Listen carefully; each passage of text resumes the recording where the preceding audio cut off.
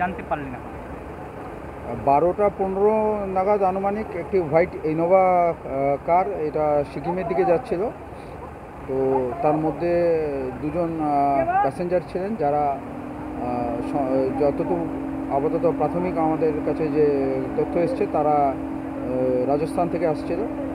তো সেই ড্রাইভার সময় তিনজন নিয়ে গাড়ি সিকিমের দিকে যাচ্ছিল। তো এইখানে গাড়িটি এই বাকপুলের এই সামনে, এখান থেকে তিস্তাতে পড়ে যায়। তো আপাতত আমরা এনডিআরএফের টিমকেও আমরা ডেকেছি। তারাও অলরেডি উদ্ধার কাজে নেমেছে। এছাড়াও আর কিছু ইয়ে আছে প্রাইভেট এজেন্সিরাও আছে তারাও চেষ্টা করছে যাতে হ্যাঁ রাফটিং টিমটাকেও নামানো হচ্ছে যে যাতে এটা কেন তারা এইখানকার একটু বিশেষজ্ঞ আছে সেটা যাতে এ করতে পারে। আমরা চেষ্টা করছি যত তাড়াতাড়ি উদ্ধার করা যায় গাড়ি এবং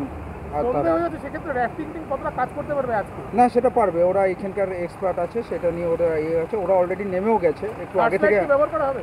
সার্চলাইট যেরকম যেরকম পরিস্থিতি হবে সেই অনুযায়ী ইয়ে হবে। দুর্ঘটনা? মানে প্রাণ নিতে গিয়ে বর্ষা রাস্তা সেজন্য সেটা তো আপাতত বলা যাবে না সেটা আপাতত প্রাথমিক অনুসন্ধানের পরও বলা যাবে আপাতত আমাদের প্রথম উদ্দেশ্য হচ্ছে যে যাতে আগে গাড়ি এবং যারা ছিল তাদেরকে যত তাড়াতাড়ি সম্ভব উদ্ধার করা। স্যার যে দুজন ছিল তারা কি বর্বর ছিল না দুজন না সেরকম কিছু কোনো খবর আমাদের কাছে এসে পৌঁছে না নাম ঠিকানা এখনও এসে পৌঁছে